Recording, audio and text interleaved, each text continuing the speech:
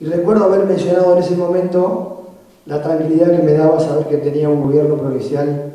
que iba a estar acompañándonos como lo venía haciendo desde antes y que sabía que iba a seguir haciéndolo, como de hecho lo hizo en cada uno de los proyectos que estamos ejecutando aquí en la ciudad de San Genaro. Haciendo una breve reseña, desde el Canal San Genaro, una obra anhelada por muchos años que se pudo ejecutar rápidamente, obras como sanitarios en las escuelas que no había, aunque usted no me crea, había escuelas medias en nuestra ciudad que no tenían baño y gracias al, gobierno del Frente Progresista tenemos un baño nuevo en la Escuela Técnica número 674, que también hoy va a haber un, importante anuncio en materia educativa y con respecto a, esa misma escuela. Eh, bueno, junto a la cooperadora de la Escuela 281 hemos hecho los sanitarios nuevos para esa escuela primaria y un otro sueño anhelado por mucho tiempo fue el SUN, el Salón de Usos Múltiples del Jardín Nucleado número 111, por ahí veo a las docentes, eh, un jardincito que los chiquitos los días de lluvia o en invierno no tenían realmente donde ir, una obra hermosísima, ojalá tengamos algún ratito para pasar a verla. No solo eso, sino los exitosos programas que la provincia nos pudo bajar y que hemos podido, gracias a esos, comprar tractores, retroexcavadoras, niveladoras de arrastre, en una municipalidad que estaba realmente devastada. No solo eso, sino el extraordinario programa de pavimento urbano, al cual también hemos podido acceder y ya estamos con mano de obra local, con nuestra propia planta de hormigón elaborado, estamos haciendo pavimento, estamos por la segunda cuadra. Como si eso fuera poco, durante 10 años en la ciudad de San no se construyeron viviendas. En nuestra gestión vamos a terminar ejecutando 18 viviendas en lote propio. Hoy vamos a hacer entrega de una más, 15 viviendas de un barrio y 5 viviendas de emergencia para familias con características sociales particulares. Así que no, tenía, no estaba equivocado cuando decía que teníamos un gobierno del Frente Progresista que estaba acompañando a las municipalidades y que lo iba a seguir haciendo. En nombre de todos los sangenarinos, quiero darle las gracias por su visita, por su extraordinaria gestión y por supuesto por el apoyo que nos ha dado. Muchas gracias. Gastón, gracias por la hospitalidad, por recibirnos nuevamente en esta ciudad, señora presidenta del Consejo Municipal, concejales, concejaliana, gracias por acompañarnos también de la ciudad de Galvez y a todos los amigos y amigas de esta hermosa localidad de San Genaro, de la que tengo un hermoso recuerdo de todas las veces que vine a la fiesta del trigo en el mes de enero, eh, tradicional, venía antes de ser gobernador, después pude venir también en alguna oportunidad ya siendo gobernador de la provincia, una ciudad pujante, de las tantas que tenemos en la provincia de Santa Fe, pero además con una rica historia, eh, con de alguna manera un ejemplo para, el resto de la provincia y para el país, ¿no? de, una, de dos ciudades que estuvieron mucho tiempo separadas y que finalmente se, pudieron integrar en una sola ciudad, con todas las dificultades que eso supone, eh, pero, pero también como un ejemplo de que a veces se pueden superar las barreras y lograr este, sumas que permiten a todos progresar y crecer. Eh, ojalá que la Argentina, esta Argentina de tanta grieta, eh, tomara el ejemplo de San Genaro y pudiéramos resolver nuestros conflictos eh, y pudiéramos unirnos para llevar adelante un proyecto común para la Argentina. La verdad que, lo escuchaba Gastón, uno va perdiendo a veces la, memoria de todas las cosas que venimos haciendo en cada pueblo y en cada ciudad. Hemos podido concretar en estos cuatro años más de 1.300 obras en todo el territorio provincial. Algunas son grandes obras de infraestructura, como las obras viales, a las que hacía referencia el intendente, pero después obras más pequeñas que se hacen en los,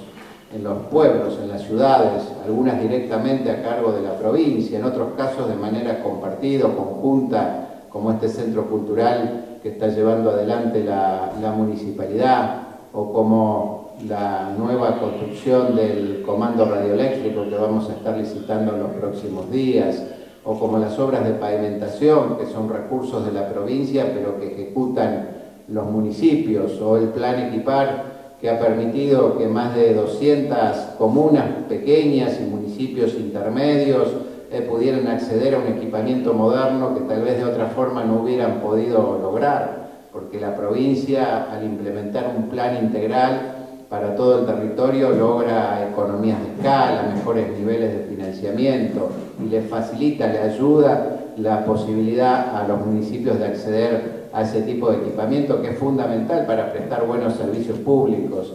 y tantas otras cosas que hemos hecho en estos años. Hemos priorizado la salud y la educación, hemos invertido en hospitales, en escuelas, en jardines. Creo que no hay una escuela de la provincia en la que no hayamos hecho alguna intervención, más pequeña, más reducida, como la que hacía mención también Gastón, eh, baños, eh, mejorar techos, eh, mejorar el estado general de los edificios, pero muchísimas ampliaciones, nuevas aulas, nuevos equipamientos, más de 700 salas de educación inicial, de jardines, se han construido en estos años, 250 escuelas secundarias nuevas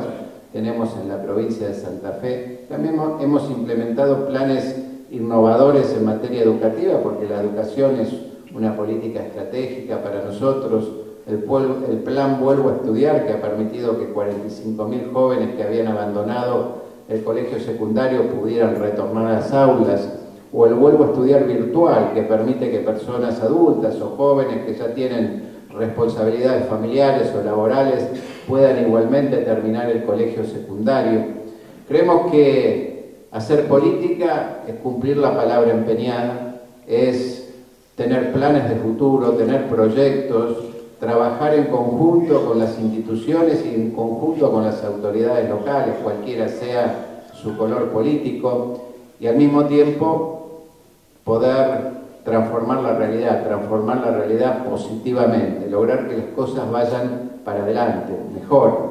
Y yo estoy terminando mi gestión de cuatro años y puedo recorrer la provincia y puedo decir con, con la frente alta que hemos cumplido todo aquello que habíamos prometido hace cuatro años atrás y algo más todavía porque muchas cosas se fueron incorporando durante, durante la gestión. Y al mismo tiempo decir que dejamos una provincia con sus cuentas equilibradas, sin déficit, con muchos proyectos en marcha, hemos mejorado la salud, hemos mejorado la educación, hemos hecho muchísimas obras, hemos mejorado la justicia, hemos mejorado la policía. Por supuesto que siempre uno quisiera un poco más, todos queremos siempre un poco más y siempre faltan cosas, pero creo que hemos marcado un camino de progreso, de desarrollo, para la provincia de Santa Fe. Y si me comparo con lo que ha pasado a nivel nacional, creo que lo nuestro todavía adquiere mayor valor, ¿eh? porque lo hemos hecho manteniendo una autonomía política, manteniendo diálogo con el gobierno nacional, manteniendo diálogo con los legisladores aquí en la provincia, tratando de no profundizar la grieta, al contrario, tratando de tender puentes, de abrir diálogo, pero teniendo un proyecto claro de desarrollo, de avance, de progreso para la provincia de Santa Fe. Para eso los gobiernos locales han sido muy importantes, todos los gobiernos locales. Hemos encontrado aliados incondicionales en los intendentes y particularmente con Gastón hemos podido hacer una relación muy articulada y espero que en el futuro